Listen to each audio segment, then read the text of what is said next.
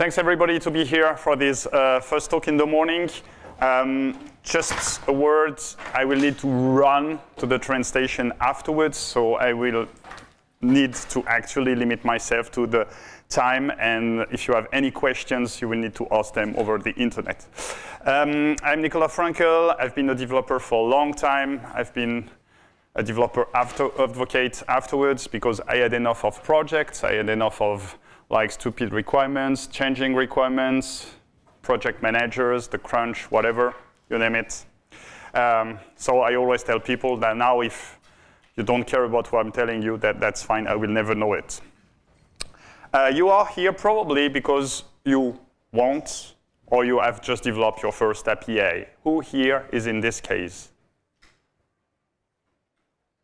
What is the rest doing? Oh, sorry, this is a Slavic audience, right? What was the question, sorry? Ah, no. Are you, did you ever develop an API or do you plan to develop an HTTP API? Yes. Ah, thanks. Yeah. You asked first time. You asked you did the first time. I had only three or four or five. So. Okay. Ah, good one. So, what should I teach you here? um, so, if it's your first time, if you're not an experienced person, or if you plan to do it, you probably uh, need to focus on a lot of things like the regular uh, modeling stuff. What are your entities? What's the relationship? What are the boundaries? And then, as I told, you have all the problems of regular project, the changing requirements, whatever. And then you need to think about, oh, what is REST? Huh? Like, REST is something that a lot of people talk about, but nobody can know for sure what it is. You have lots of contradiction. Some people say REST is like the Bible. Somebody wrote a book uh, and then went away, never to be heard again. And now it's up to the people remaining. We need to think, oh, what did he mean? Huh? So it's normal that with all those requirements, all these problems, then you probably forgot about versioning. And when your business comes to you and say, hey, your API has been very successful, then you are faced with this reaction. So in this talk, I want to give you a little of tips and tricks about what can help you uh, like not have this reaction. So um, let's make sure of the initial situation. So you have your application, you have a couple of endpoints, and you like offer them to the internet, right? Right? Yeah. yeah, okay, you are all wrong. I assume that none of you, absolutely none of you, ever offer their endpoints to the internet without a reverse proxy. Now you have something in between. And that's correct because you want to protect uh, with rate limiting, with authentication, with lots and lots of security issues that you, you cannot offer. It. So this is the right initial situation. My solution is very simple. Uh, instead of a reverse proxy, you use an API gateway. Good, I will catch my train. Do you have any questions? Um, since this is the short version of the talk, uh, I cannot go into all the explanation between a reverse proxy and an API gateway. Just my definition, which is like can be debatable, but it will be the one I will be using. Like uh, an API gateway is a reverse proxy on steroids. It can do everything a reverse proxy can do and more. My usual example is rate limiting. A reverse proxy rate limits by default. That's one of the first features that was invented to prevent you from being DDoSed. Makes a lot of sense. The thing is, rate limiting in reverse proxy is addressed like a technical requirement. You don't want to be DDoSed, and it makes a lot of sense.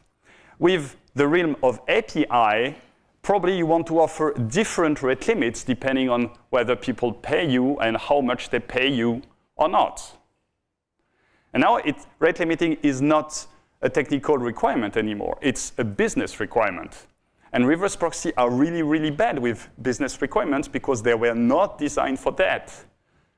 You shouldn't put your business logic in a reverse proxy. So API gateway, they have this normally out of the box. That doesn't mean you should push all your business logic to API gateways. It means that they are less unfriendly to business logic than reverse proxy. Also, something that is, in my opinion, not acceptable anymore. You should be able to change the configuration of a reverse proxy or an API gateway on the fly. Uh, there should be hot reload. If you are using uh, Nginx, which is a very good and very mature reverse proxy, if you use the open source version and you change the configuration, you need to switch it off and on again, which is not super great. Ah, it's time.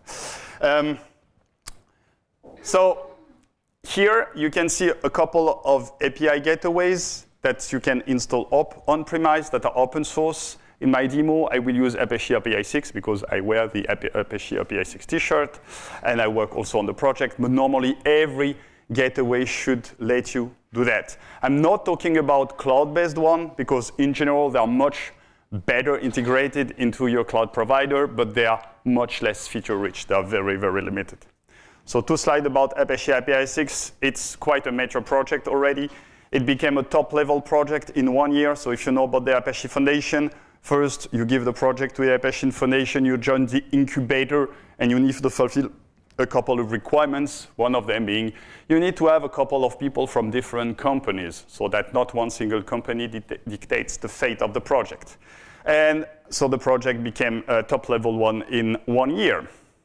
It's based on Nginx because, again, it's a very good and very mature reverse proxy to cope with the fact that you can't change the configuration and reload it on the fly. There is something called OpenResty.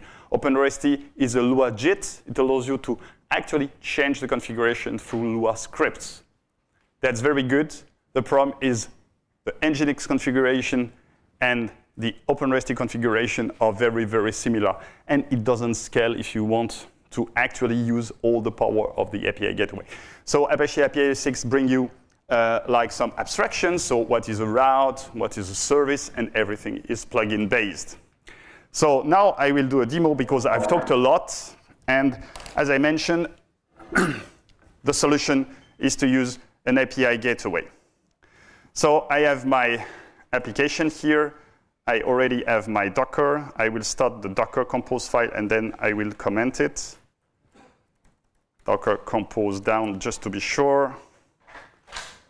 And now it needs to wake up and Docker compose up. And it seems to be good. So how is my Docker compose file composed? Surprise, surprise. Uh, so I have Apache APISIX. Apache APISIX relies on etcd to store its configuration. etcd is distributed key value store, the same one used by Kubernetes. I probably won't have time to show the dashboard, but anyway, here it is. I want everything monitored, so I have Prometheus and Grafana to show it on the UI. And I have my old API, and I want to migrate to my new API. So the old API is this one, it's a Java project, Spring Boot, and it's very bad because it. who said that? okay, everything is configuration based. Um, and my new API is much better because it's still Spring Boot. yeah, at the Red Hat conference, it sucks, right? Um, but it's written in Kotlin, so you were right. I improved everything because I used Kotlin instead of Java and I removed the annotations. So let's see how it works. Local hosts 8081 slash hello. And that's bad hello world in Java and we can do much better. Like here, this is obviously much better, right? So we want to migrate from version 1 to version 2, the old bad Java stuff to the Kotlin shiny stuff. Okay, so we call the API gateway for that. And unfortunately, it's a brand new API gateway, so we need to configure it before it works. Otherwise, it's no use. Um, so for that, we can configure Apache APISIX via an API call. Amazing. Turtles all the way down. So there is this uh, actually routes, uh, APISIX admin routes. We will do a put with ID 1. Uh, here we notice that there is a different port because you probably don't want to expose the admin port to the outside world. You want just to keep it uh, inside your network. And for added security, we have an API key, which here I'm I've been very lazy because I'm using the default one. Uh, the payloads, the name is optional, but it's better, gives you a better understanding. And then we have an URI and a methods. By default, the methods are all the methods, and APISIX or probably any API gateway would check if you, when you receive a request, it matches both the URI and the method. And in this case, it will forward the request to the upstream. So here, the upstream is a single node, which is very, very stupid, because nowadays in our container world, the pods, the, the containers, they will come and go, uh, especially if you are using Kubernetes. So we have service discovery. But here, I don't want to make the things more complicated. I have written everything uh, hard-coded, and it will be a single node. And as I mentioned, I want everything monitored, so I'm using plugin Prometheus. Everything is a plugin, remember? So I run it, and now I can try again, and woohoo, it works. And of course, I'm back to square one. So it's not super interesting, but at least that's my first step. I've introduced the API gateway. Now the second problem is now I want something to be versioned. There are a couple of ways to version an API. The most widespread one, the one that we'll use in this presentation, is path-based. Eh? You use in the path v1, and it forwards you to the v1. Makes sense. The second that everybody talks about, but nobody has ever seen it in the wild, is query parameters. Uh, everybody tells you, hey, you can do it. Yeah, but who does it? Nobody. Well, okay, but it's still, you can do it with Apache APISIX if you really want it. The third one is through a header. Either it's a custom header, like X version, or it's through the contents. It's also possible, it's also supported. Here I will use path-based because it's the most visual one. So I will first I, I, I, told you about, hey, we can use abstractions here. I've created everything in one payload. So here I will use the real abstraction of APISIX. I will use another route called upstreams. It's still a put. So I create the, the, the upstream like this so it can be reused across several uh, routes. Then I create uh, a global rule because I told you I want everything to be monitored. But in my first route, I had to explicitly tell plugin Prometheus. And guess what? At some point, one admin will forget to add it. And I bet you that it will be the route that you will need to debug. So I want that everything be monitored by default. So I will create a global rule to say, OK, every, every route that will be created from now on will be um, monitored via Prometheus. And then I create the version routes. So route number two, I do a put. Here you can see that I am actually referencing the upstream that I created. And I'm uh, mm, referencing a plugin config ID that is above. Why do I need that? Because now that I am introducing path-based uh, versioning, if I forward v1 slash hello to my upstream, my upstream will tell me, uh, no, it doesn't work because it only knows about slash hello, not about slash v1 slash hello. So I need to remove the prefix before I forward. And that's the idea behind this plugin config. There is a proxy rewrite where I say v1 whatever, I keep the whatever. And remember, I do it on a route called v1 slash hello. So here, now I have same. Amazing. And now the thing is the old users won't migrate because it's just not cost effective. And the new users, there's a chance they will still use the unversion route because they need to type less characters, right? And we are lazy. Uh, so we need to uh, tell people, stop using this unversion route. It's not good. It's not good. But how do you contact them? Because when we offered our API to the world, we didn't think about making people register. And if somebody thought about it, then you would have told, no, it's, it's a needed friction. You don't want friction between you and your user. And makes a lot of sense. But now we are in dire need of contacting our user, but we can't. So the only thing we can rely on is actually our good friend HTTP. hey, no other choice. Um, so we will communicate through HTTP and tell our uh, users, uh, no, don't do that anymore. How do you do that? Well, there is a plugin for that. So if you use the first route, and then we will redirect them to whatever they wanted. So now if I use the v1, and I will make it verbose, tells you, oops.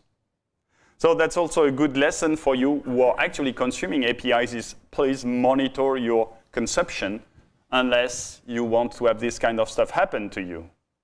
But you can tell me, oh, but we are smarter than that, and I believe it because you are developers. We do auto follow. hey, and no breaking changes. Uh, congrats, you've just doubled the number of requests, so probably your cloud bill as well. So the lesson is please really monitor your API consumption as well. All of these issues wouldn't be there if we had actually asked people to register right? Who here likes to register? Ah, you don't want my spammy emails? Obviously you don't, but you want free stuff. yeah, everybody wants free stuff. Um, so perhaps we can find something that is mutually beneficial, saying, okay, uh, you give me your email, I promise you not to spam you, TM, and, um, and then you will enjoy unlimited calls. If you, if you uh, don't want to give your email, that's fine too. You can continue using my API, but you will be rate limited. Okay? Um, makes sense. Marketing plot, but it works. Um, I tried to find a, a plugin for that. Uh, I didn't find it. So what did I do as a good developer?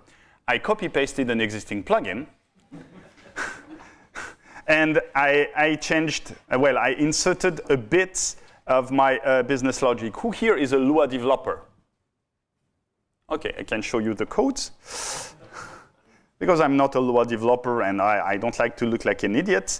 So everything is copied from one of the red limiting plugins.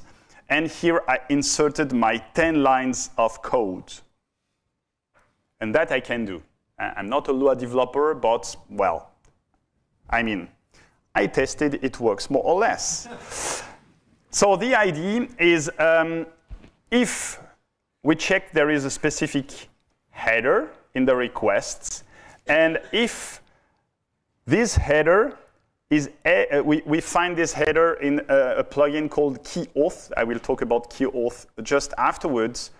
And with this KeyAuth, we have somebody who actually has been authenticated, then we break, we return. Otherwise, we apply the rate limiting logic, which I won't show because it works and uh, it's not important. So here, I'm reusing exactly the same config as the initial plugin. And it says, OK, if you call me more than once in a 60 seconds time window, uh, I will reject you with 429, and you can register there. So registration is not part of this talk, but here you can see that now I can call v1.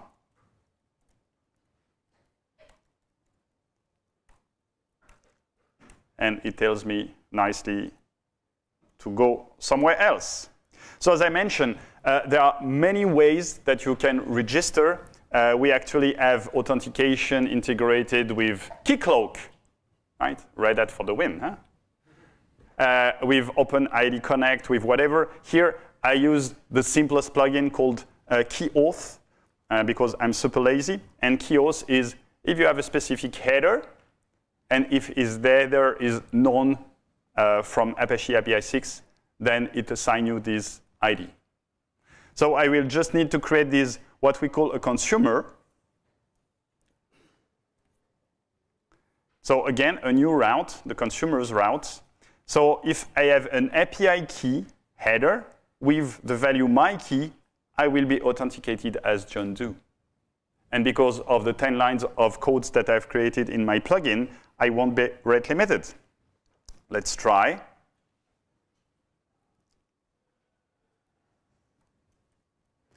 Uh, API key equals my key. Hey. No rate limit.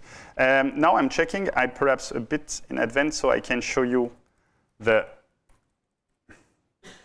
Uh, it's 9,000. The dashboard. So of course here it's not admin admin as you can imagine. It's admin something very complicated and very secured. Here you can see my two routes that I've created. You can see the upstream that I created. You can see the consumer that I just created. And you can see the global rule. Uh, you can check uh, the JSON that is actually stored in etcd, and there is a direct change available. Um, so here you can see it has been changed directly. Uh, if actually your users are not sysadmins or developers or DevOps or whatever you want to call them. If they are regular business users, you can offer them this dashboard. Um, it can also be restricted, whatever. But my point is, under the hood, there, there is this API call that I have just done. It's just that there is a nice UI around them.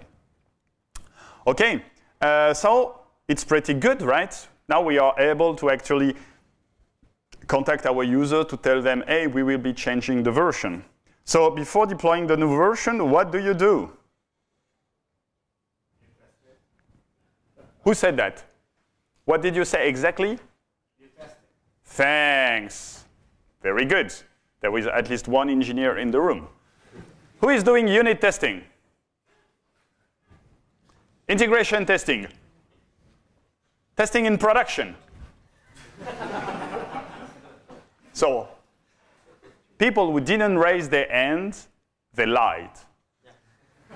Because in the realm of API, it's even truer. Everybody tests in production. Because even if you test a lot of things in unit test, if you test a lot of things in your integration tests, there is no way you can test all the possible payloads that your user will send you. At some point, you need to test in, in production. So before testing, uh, uh, before testing in real production, we should do canary testing, right? Uh, before doing canary testing, we can do something a bit smarter. Though, what we can do is actually we can duplicate the loads, the production loads, send it to V1 and V2, and check that the either the payload, the response payload, or the HTTP status is the same. And if it's the same across, I don't know, 99.99%, it's a pretty good sign that it's the same and we can continue. So we shall do that with something called the proxy mirror traffic. So I will send the, the, the load to the V2 as well. And here, I'm very proud of this Thanks. I'm very proud of the snippets uh, because when I first presented this talk, it didn't work. And the reason for that is that the proxy rewrites had a lower priority than the proxy mirror. The priority is how Apache APISIX orders the plugin, how it executes them in turn. And it's hard-coded by default, and because some things make more sense than others. And at the time, you couldn't actually override the priority. So what happened is that the proxy mirror was executed before the proxy rewrite. Remember, proxy rewrite removes the v1. So you actually sent v1 slash hello to the proxy mirror, and it didn't work. So now it works. And let's try a couple of times. it works as well. Uh, I'm so good a developer, I can write a hello world in an API. And now we can check our friend Grafana So everything is configured. Here, I have taken the default APISIX dashboard and I have added two widgets. And if you have done any Grafana dashboard before, you know how crappy that is. So hurrah for me. And here, I won't compare the payload. I won't compare the HTTP status code. I just look at the graph and say, eh, it looks similar. And it looks similar, right? The, the, scale is different, but it looks pretty similar. Here I have this and this, here I have this and this, and here it goes like this, and here it goes like this. So from, it's similar. I can deploy. Um, but yeah, wait a bit, I cannot deploy that easily. I mentioned canary release. We should do canary release now. So the thing is, you can do canary release in many different ways. You can say, oh, I will do through a header. So if I have this header, I will direct to the V2. You can do through uh, IP range. You can do through uh, like geographical location as um, computed from the IP. Or you can just do it randomly, like start at 1% and increase incrementally until you reach an acceptable number.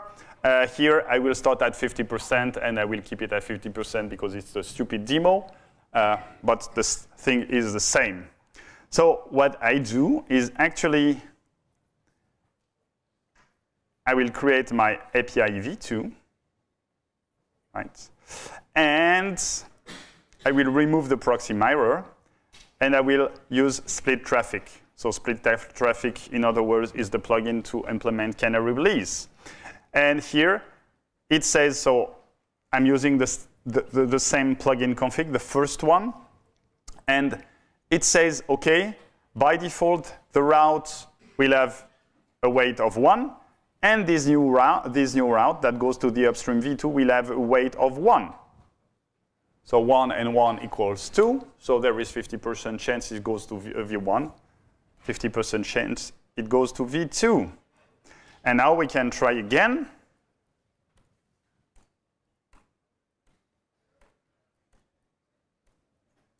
So I won't do it for 10 minutes, but over time, it will average to 50%.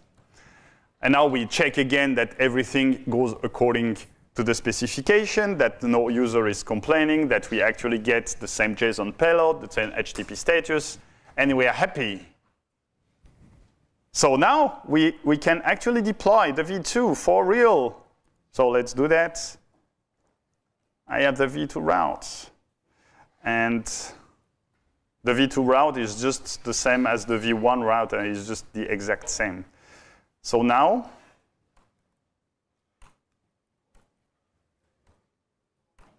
seems like the end of the road. But it's not. It's not. You should stay for five more minutes you will miss the most important stuff. Now you have five minutes. Say, I was right. Um, the most important stuff is now we have V1 and V2 in parallel, and probably we'll have V3 because it works so well, and V4 and V5. And if you are a manager or a team lead, you are in deep trouble. Because now your engineering resources must be split across all those versions. And it sucks a lot. So when you are a smart product manager, you remove versions at some point. And how do we remove stuff? Eh. So I found only one IETF draft to do that um, that allows you to deprecate your endpoints. But a draft is better than nothing. It's better than custom stuff. And perhaps at one point it will become a spec. So it's very simple, actually. It defines a deprecation header. It can be a Boolean, which you shouldn't use, but I'm using in the demo, and a date. And when you start using it, it should be a date in the future. That's why you should don't use a Boolean. Again, I'm using it, but I'm super lazy. Uh, and then there is a link header that points to the new resource to use. And finally, if you want to be extra nice, you have this sunset header. So deprecation means at this point, you shouldn't use it anymore, and deprecation means at this point it won't be there. Uh, sorry, sunset means at this point it, should, it shouldn't be there anymore. So it's like in the JDK, first you announce the deprecation of an API, and afterwards you remove it after a couple of versions. So that's actually very easy to do. We remove the split traffic and we rewrite the response by adding a couple of headers. As I mentioned, I'm using a Boolean, very, very bad, and I'm using the link. And here I'm reusing Nginx variables so I don't need to hardcode the stuff, which is a pretty good thing to do. So here uh, I didn't run it. And I run the v1. Uh, verbose. Yes, deprecated true. Again, very, very bad. And the link, you should use this v2 instead. Very, very good. And now, last but not least, comes the last step. Enjoy. Because I believe if at this point you have implemented all the tips and tricks that I've shown you, uh, then the next time the business comes for V3, it will be much, much easier. And the good thing about those tips and tricks, here I've implemented them afterwards because, well, I didn't know better, but if you are able to plan them ahead, it will be much, much easier. Thanks a lot for your attention. You can follow me on Twitter, even though I don't know what is becoming of this. Uh, and if you are not sure, I'm on Mastodon and Bluesky anyway. If you're interested about the code, everything is on GitHub, but I have a bit.ly link, so I know exactly how many people are looking at the code. And most of the time, I'm very, very disappointed. Uh, and if at any point, even though the talk was not about Apache APISIX, you are interested to have a look, please do it uh, so I can come here next year, if you allow me, uh, with the same employer. Thanks a lot.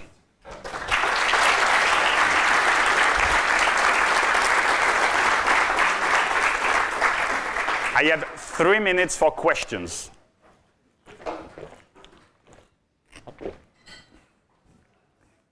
Yes.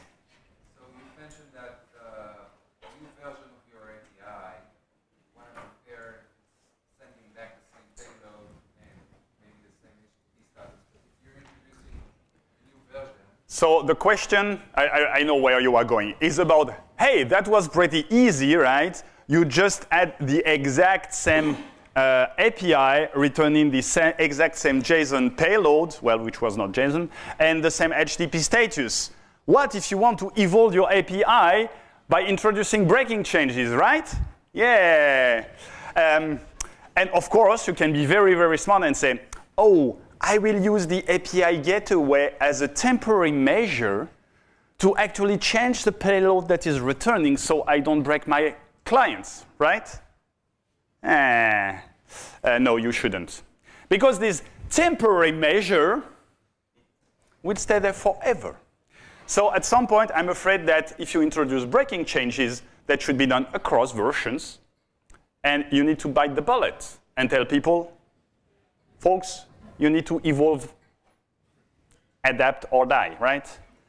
Um, uh, yeah. So it's a pretty bad idea. I mean, if you can guarantee it's temporary, mm-hmm, you are just like buffering the pain until it bites you afterwards. But my experience with enterprise is that nothing is, nothing is temporary, it will stay there forever. Yes?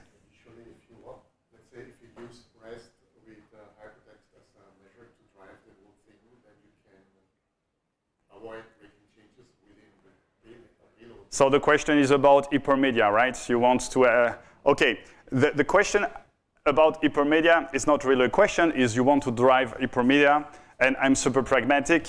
Uh, I can love hypermedia, uh, 8 OS or however you want to call it. I'm sorry, but it just doesn't exist. it doesn't exist. Uh, it's a good idea, but you want to create, your, I mean, when you create um, your, your, your client, be it uh, a, a, Java client or a JavaScript client, you don't create it to follow those hyperlinks. You create it against an existing set of APIs. So uh, I, I, see the idea, but uh, the implementation is just non-existent. I'm sorry. Yes?